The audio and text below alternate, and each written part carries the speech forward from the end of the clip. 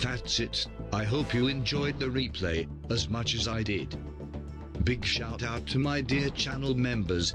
Thank you a lot for supporting the channel.